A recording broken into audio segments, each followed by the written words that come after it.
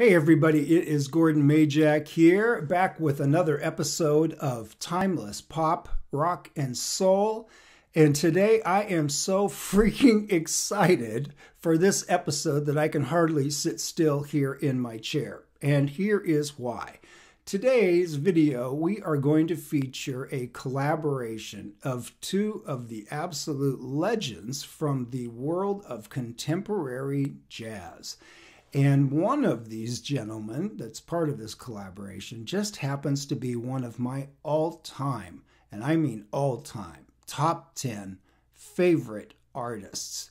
And I cannot wait to tell you who that is. Before we get to that, please remember to like, subscribe, and comment below. Love it when you guys comment and appreciate all of your feedback. Now, let's get to this music, man. This one this is such a great song, but even so much more importantly than that, these two artists and what these two artists uh, have meant to me. Let's start with the album. Now, this song first appeared on an album by this gentleman. This is the album cover. This is the great, and when I say great, that's a capital G, baby, great the legendary Joe Sample and his 1989 album Spellbound. Uh, Joe Sample, wow, I became aware of Joe Sample for the first time in the mid 70s when he was in a band called the Crusaders. Oh, the incredible Crusaders. Uh, they originally were called the Jazz Crusaders back there in the 60s, but in the uh, 70s there they changed it to just the Crusaders. And Joe Sample was a part of the Crusaders' legendary lineup that included these gentlemen. Uh, Joe Sample, of course, on keyboards. Uh, Wilton Felder was on sax and bass there for a while. You may remember a name of Larry Carlton on guitar. He was in the Crusaders with Joe Sample. Uh, Stix Hooper on drums, just as tight and funky and greasy as it gets. The great Wayne Henderson on trombone, just an incredible trombonist. And then uh, later on, they added uh, Pops Popwell on bass, and Wilton Felder just uh, devoted himself exclusively to saxophone. 1974, the Crusaders did an album called Southern Comfort stone cold, classic, epic contemporary jazz album. They followed that up the following year in 1975, and to the best of my memory, this is when I became aware of them through my friend's older brother with an album called Chain Reaction, another stone cold contemporary jazz classic. These guys were on a serious roll, and it, when you remember these band members' names that I'm telling you about, I mean, this is like an all star band, right? They followed up Chain Reaction with an album called Those Southern Nights in 76. Another freaking legendary contemporary jazz record. And they followed that one up the following year in 1977 with an album called Free as the Wind. This is four consecutive albums, folks, that if these guys were in the pop or rock vein, they'd be in the freaking Hall of Fame, okay? Because they just threw down the gauntlet on four straight albums there and really, uh, in their own way, defined just how nasty and funky and ferocious and soulful contemporary jazz could be in the hands of these uh, master musicians. Now, that's where I became aware of Joe Sample. And the song, uh, as I said, is from his album in 1989. So I knew about Joe Sample back there in the mid 70s. Just the tastiest, the first word that always will come up whenever you talk about Joe Sample to anybody that knows contemporary jazz is he was the tastiest dude on keyboards you have ever heard in your life. I don't think anybody, and there were some great, great uh, keyboardists in the world of contemporary jazz, and back then especially. I mean, you think of artists like Bob James and Dave Grusin. There's some pretty legendary names that were jazz keyboardists, but I don't know if there was anybody as bad and as nasty and as soulful as Joe Sample you put Joe Sample on a an electric piano on a Fender Rhodes, and that brother, you're getting ready to blast off into outer space. Just the tastiest keyboard playing you will ever hear. Absolute master, a legend uh, in his own right, Joe Sample, both as a member of the Crusaders, and then he had a long and very successful solo career, and that's where this record uh, today comes from, his solo work. Now, the funny thing is, the weird thing about this is I became aware of Joe Sample, as I said back there, I think it was 75 when he was still in the Crusaders and that classic album, Chain Reaction. The following year, uh, not only did Joe Sample, as a member of the Crusaders, uh, put out the album "Those Southern Nights," but all of the Crusaders, you you may re- remember some of those names, guys like Larry Carlton and Wilton Felder, and some of these other guys. These were very popular studio musicians as well because of how accomplished and how tasteful and how soulful and just ridiculously talented they all were. Those players all did uh, session work on the side. Okay, so Larry Carlton was doing work with everybody from Steely Dan to the Crusaders to his own stuff to other artists, and it was the same in the jazz realm for uh, Joe Sample on keyboards and also for Wilton Felder. Well, that following year thereafter, I became aware of Joe Sample. Joe Sample appeared on an album by an artist that I had not heard of yet. This is now 1976 that we're talking. And that artist was this dude, the great, the one and only Michael Franks. This guy. I can't even, I could do a whole channel on Michael Franks, and I'm not even joking. And don't push my buttons, or I might do it.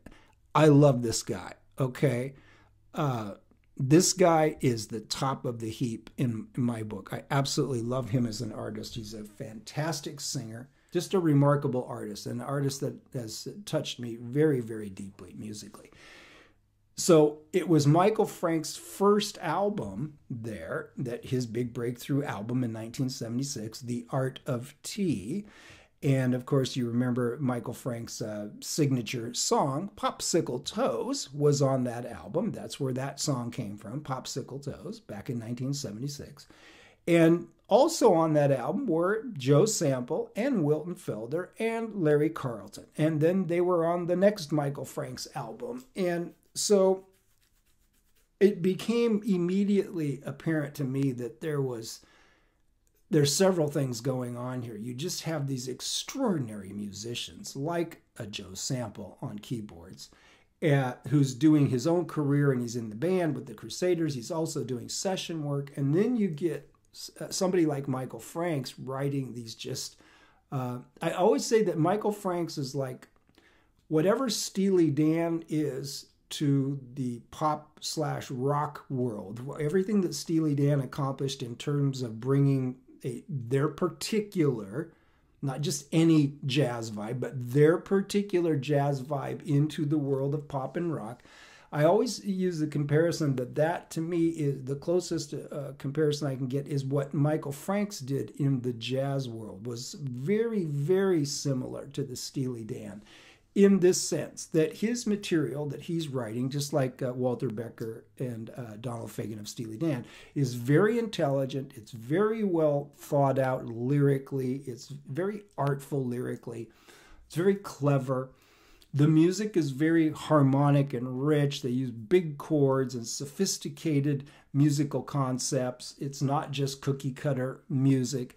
Okay and uh, there's a lot of exploration there's a lot of space there's a ton of improvisation in these charts that uh, michael franks has had throughout his career just like in the steely dan. They always leave room for the solos and the improvisation.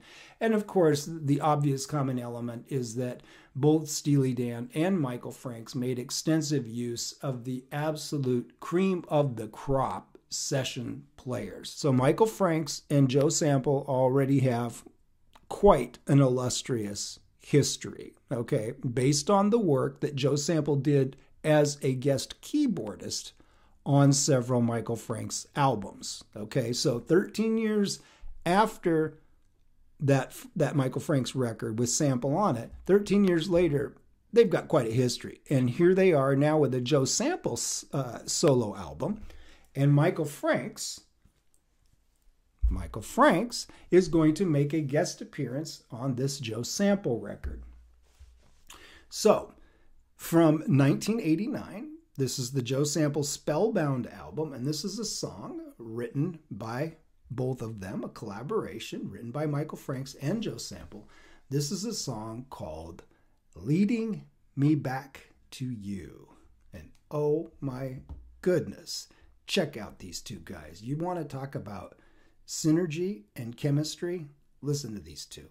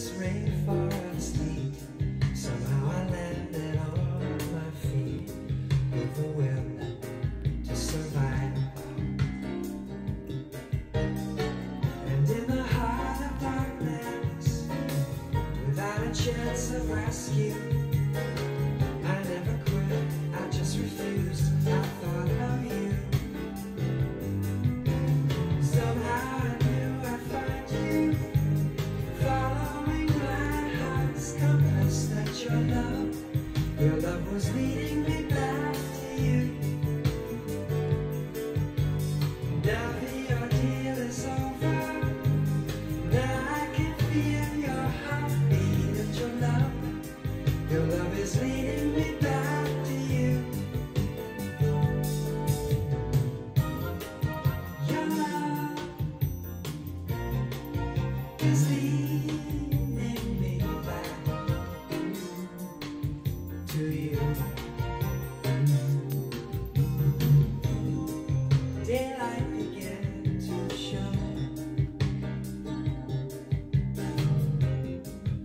jungle painted by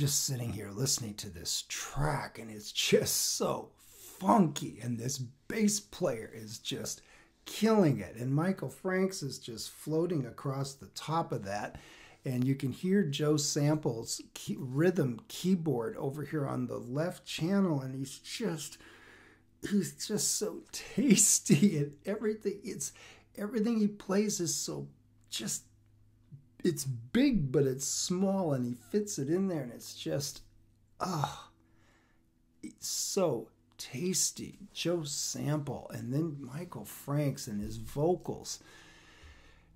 God, now I got to tell you, coming up here, listen to this piano. This is Joe Sample and the solo in the middle. Listen to this song. This is ridiculous.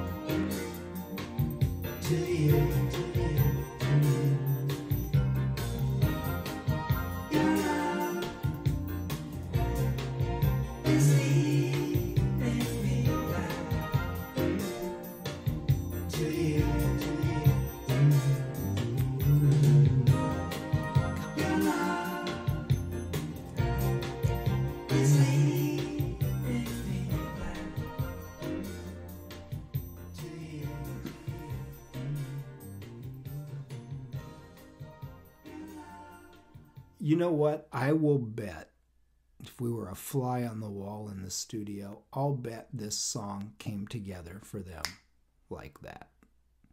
They showed up in the studio. Hey, how you doing? Good. Well, let's do this. Okay. Boom. I will bet that it was almost effortless because their their styles are just so complementary. They're very different. Uh, styles individually when you listen to Joe Sample, whether he was with the Crusaders or on his own. But you put Joe Sample in that context against those vocals and where they can play off of each other like that. And oh my God, there's so much soul in that. And that bass player, that bass lick was just killing me. Uh, this is a song that uh, it knocked me out back then in 1989. I, like I said, I already loved both of these artists, and uh, to me, this is just one of the very best uh, things that either of them ever did, and that's saying something because both of these guys have catalogs that are just so full of incredible material. The great Joe Sample, the late great Joe Sample, man, uh, what an artist he was for so many years on so many big hit records. What a player. The most tasteful keyboard player you'll ever hear. And Michael Franks, and you want to know how much I love Michael Franks? I always say that if I had to be a solo artist, if I was going to be a one man show, or not a one man show, but you know, a single artist, um, guess what? I wish I could be Michael Franks because there is something, first of all, musically, it's even, like I said, the Steely Dan thing. You think I'm joking, I'm not joking. He's right there musically, so, so rich and so diverse and so intelligent and so well put together and so well thought out. Like I said, with the lyrics, his vocals, the whole thing but there's also there's a there's a romantic element of um, Michael Franks that there's a humorous element. There's it's like I'm checking off all these boxes of you know aspects of my personality that his music addresses in such a unique and powerful way unlike anyone else's music. That's why I, I take it so personally. And uh, there's a spiritual element to it and his, his ability to observe and, and, and uh, share insights in sometimes humorous ways through his lyrics. I mean, it just goes on and on. Michael Franks, what a deep artist. Coming back with the next one, and it's time to get into the 70s. I'm gonna I'm gonna play some stuff that you know and love. I'm gonna play some stuff you don't know but you will love. All of it. You'll see. Coming right up. And beep beep beep beep beep. We are out beep, beep, beep, beep.